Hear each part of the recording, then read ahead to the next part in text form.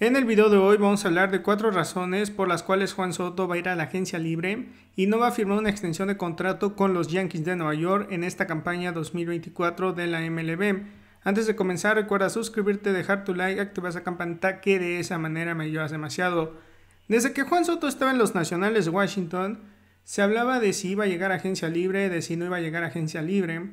Se empezó a convertir en un pelotero muy famoso ya que empezó a rechazar varias ofertas en su momento de los Nacionales de Washington. En su momento Juan Soto, cuando rechazó las ofertas, él había dicho que no era por el tema del dinero, sino era por el tema de cómo andaba su equipo en ese momento.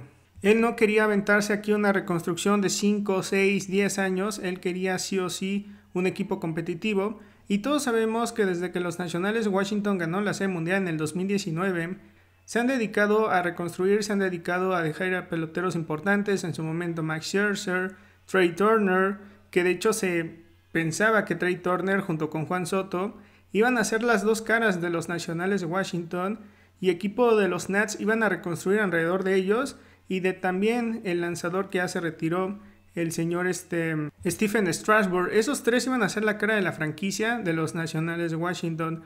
Sabemos qué es lo que pasó, Strasburg se lesiona, eh, Trey Turner va a llegar a agencia libre, deciden cambiarlo junto con Max Scherzer. A Juan Soto los nacionales le apuestan a que este tipo va a ser jugador franquicia.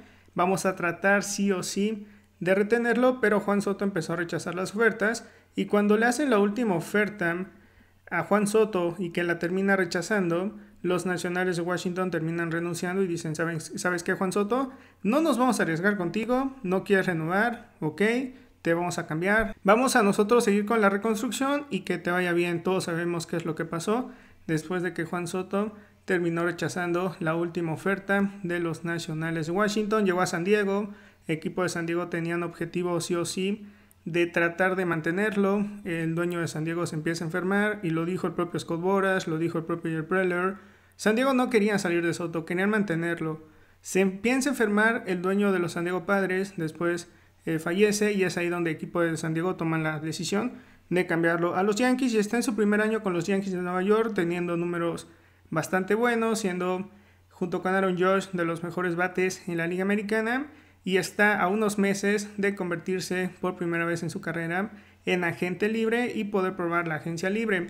¿Cuál es la primera razón? Esa que ya les comentaba, ya ha rechazado ofertas de extensión de contrato, las recientes de los Nacionales Washington en San Diego Padres jamás le hicieron una oferta formal, ellos tenían planeado hacerle una oferta, pero por lo que les comentaba anteriormente, no se pudo hacer eso. Los Yankees van a tratar de hacerlo, no sé si lo vayan a lograr, pero seguramente Juan Soto em, va a terminar rechazando la oferta. La número 2, no ha habido conversaciones con la gerencia de los Yankees, ya llevan varios meses en donde los insiders están diciendo, no, es que Hal Steinbrenner ya le dio el sí a Cashman, ya Cashman va a tratar de hablar con Scott Boras, Scott Boras como que sí quiere, pero a la vez no quiere.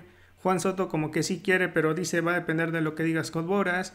Entonces, de momento que estoy grabando el video, no hay ni una sola conversación, no han tenido ni una sola conversación en el término de tratar de retener a Juan Soto, pese a que han dicho como tres, cuatro veces que van a iniciar las conversaciones. Al final no las han iniciado y no creo que las van a iniciar. Entonces ya veremos qué es lo que pasa. Esa es la segunda Em, pues la segunda razón, no hay conversaciones al momento, porque pues, a lo mejor el día de mañana puede iniciar, pero al momento no ha habido conversaciones entre la gerencia y el abogado de Juan Soto, como le dice Juan Soto, ahí está mi abogado, el señor Scott Boras. La tercera razón, el estilo de su agente Scott Boras.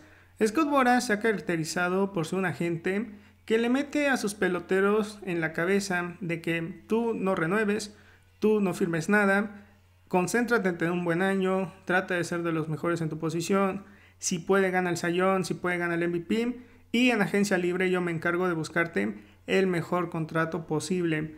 Eso es lo que necesito de ti y ya yo me encargo de lo siguiente. Ahorita lo que necesita Boras de, de Soto es que tenga una muy buena campaña. Si tiene una muy buena campaña, no sé, gana la Serie Mundial con los Yankees, que se ve complicado que sin refuerzos lleguen a una Serie Mundial pero supongamos que gana la Serie Mundial o tiene una mega campaña, eso va a ayudar mucho a Scott Boras a tener armas para poder negociar contra los equipos rivales. Lo que terminó mencionando Scott Boras, y esto lo dijo hace algunos meses, es que él cree que tarde o temprano Soto va a llegar a agencia libre. Dice que no descarta a los Yankees, pero él cree que su eh, cliente va a llegar a la agencia libre. Y como ha trabajado Scott Boras, es un tipo que le gusta mucho más la agencia libre, aunque en la última le fue pésimo con Cody Bellinger, con Blaze Snell, Jordan Montgomery que lo terminó despidiendo, con Matt Chapman, pero él es su, es su estilo de Scott Boras, es a lo que le ha apostado y le va a seguir apostando hasta que vea que ya nadie le quiere em, pues seguir el juego, nadie le quiere llegar a las pretensiones que él tiene, pero esta vez es diferente, Soto es un tipo de 25 años, es un tipo que vende mucho, que muchos equipos les encantaría tener en la organización. No se sorprendan si el legado de Scott Boras crece mucho si consigue una mega extensión o si consigue un mega contrato en agencia libre para Juan Soto. La número 4, Juan Soto tiene más posibilidades de conseguir su contrato récord, que la verdad es que sí, de lo que se habla, y esto ya lo había comentado yo en anteriores videos, es que Scott Boras dice que va a iniciar las negociaciones de 500 millones, no le quiere bajar, las negociaciones van a iniciar de 500 millones, hasta 600 o 700 millones de dólares. Dicen que la cifra clave podrán ser 600 millones. Algo que mucha gente ha criticado en el tema de Juan Soto. Dicen es que Juan Soto en primera no es el mejor pelotón del planeta. En segundo lugar no tiene un brazo súper bueno, no es un jardinero súper bueno. le ha faltado ganar más, no ha sido nunca MVP. Ok, eso es cierto. Pero también hay que tener en cuenta que la MLB es un negocio. Aquí están para ganar dinero. Scott Boras está para ganar dinero. Soto está para ganar dinero. Los equipos están para ganar dinero. Esto es un negocio y Juan Soto, junto con Shohei Otani, Aaron Josh, son de los peloteros que tienen el mayor marketing en el béisbol de las grandes ligas. Los equipos no solamente van a ver los números de Soto, ver qué es lo que ha hecho, ver cuánto ha ganado, ver cómo anda, ver el historial de lesiones, ver el WAR. No solamente van a ver eso, van a ver con cuánto dinero me puedo meter si firmo a Juan Soto, cuánto voy a ganar. Eso es lo que le importa a los equipos MLB. Los Dodgers de Los Ángeles decían, si yo firmo Tani, voy a recuperar su contrato en un año. Yo creo que hasta ya ganaron más Los Ángeles Dodgers porque Shohei Otani ha sido un auténtico boom desde que llegó a Los Ángeles Dodgers. Imagínense cuánto dinero le hizo ganar a los Angels y eso que los Angels no son aquí como Los Ángeles Dodgers, pero imagínense cuánto dinero le hizo ganar Otani a ese equipo, cuánto dinero le hizo ganar Juan Soto a los Nacionales, cuánto dinero le hizo ganar Soto a San Diego, cuánto dinero le hace ganar Tatis Jr. a San Diego, Manny Machado, es a lo que voy. Tenemos que tener en cuenta el marketing que te generan estos peloteros y Soto es de los reyes en eso.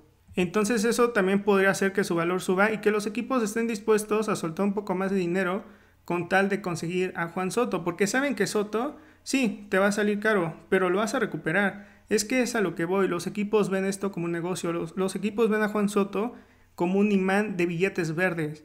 Así veían a Otani, así veían a Josh, así veían a Correa, así ven al Tuve, o sea, es a lo que voy.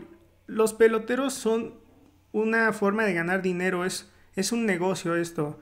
Al final aquí es cómo vas a ganar dinero tanto los peloteros, los agentes y los dueños. Es lo que les importa, ganar dinero.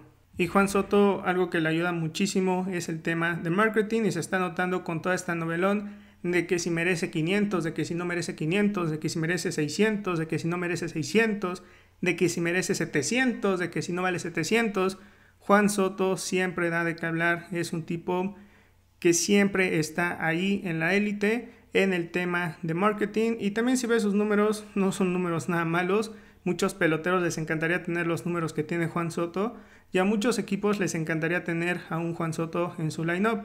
Así que esas son cuatro razones por las cuales Juan Soto va a llegar a agencia libre. Vuelvo a repetir, ya ha rechazado ofertas de extensión. Luce complicadísimo que renueven. No ha habido conversaciones con la gerencia de Yankees. El estilo de su agente Scott Boras, un agente de agencias libres y tiene más posibilidades de conseguir su contrato récord. No sabemos si 500, no sabemos si 600, no sabemos si 400, pero ya se los dije, Soto es hoy por hoy una de las piezas más valiosas en el tema de marketing y así lo ven los dueños. ¿Cómo voy a ganar dinero? Si adquiero a Soto, ¿cuánto dinero voy a ganar? Eso es lo que le importa a los dueños. Y bueno, es todo por hoy. Ya sabes, suscríbete, deja tu like. Hasta pronto.